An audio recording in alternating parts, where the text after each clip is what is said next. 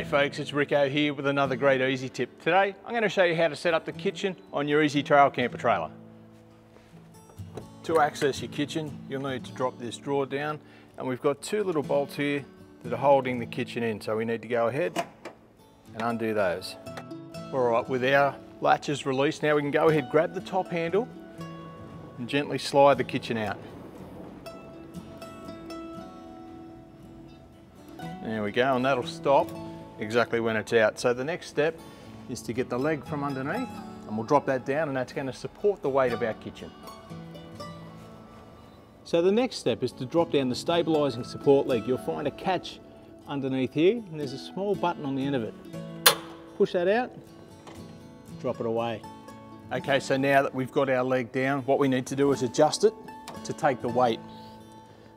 A couple little butterfly bolts there that allow that to slide down. And what I like to do is just take the weight of the kitchen and then just nip those up. She's ready to rock and roll. How good's that? Next up, we can go ahead and get our little bit of extra bench space ready. Now, you'll notice that by itself, it's reasonably strong, but there is a bit of give there. So if you plan on using this for a bit of weight, like a plate full of steaks or something good like that, Ezytrail have provided a solution and that's this leg here. So there's a slot in the top that's going to sit just under the edge there. So we'll unlock it.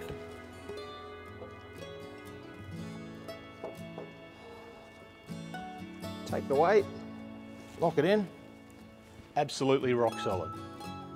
All right, now with everything firmly locked into place, we can begin the setup of the kitchen itself and we'll start here with the burners. The lid comes up, we've got a couple of very handy windshields they slide up, come back down, same on the other side. They lock into the holes there. And that way you're protected from the wind while you're trying to get some, uh, some tucker going.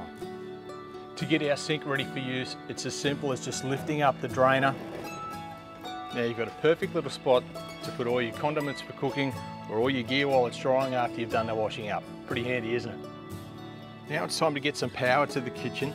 You need to come and grab this little plug here and pop it into one of these little power sockets. Just like that. All you need to do now to get the power in is press the light button and there you go. To get our gas connected, we need to come around to the back of the kitchen and find the access point here.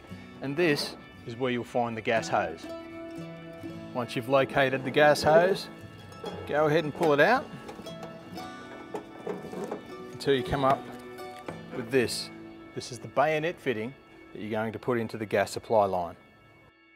Underneath the back of the trailer, you'll find this bayonet fitting here. Give it a push, a twist, and pop it out. That's your dust cover out of the way. Grab your bayonet fitting, line him up. You might have to give it a wriggle, push it all the way home, give it a twist, and then it's locked in. Now your gas is ready to rock and roll. Now we can go ahead and remove our little foam stove protectors. Now here's a handy tip. Don't throw these away. These are perfect for keeping everything in place while you're traveling.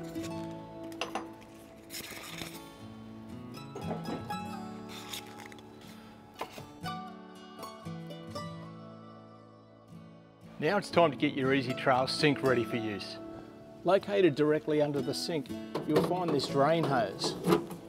Pull this out, extend it out, throw a bucket under there or straight to the ground, whatever suits your purposes, and there's your drain ready to go. Now a sink is not much good to us without water and we can see here that our rear tank has got plenty left in it. Now to access that, all we need to do is go ahead and hit the pump button.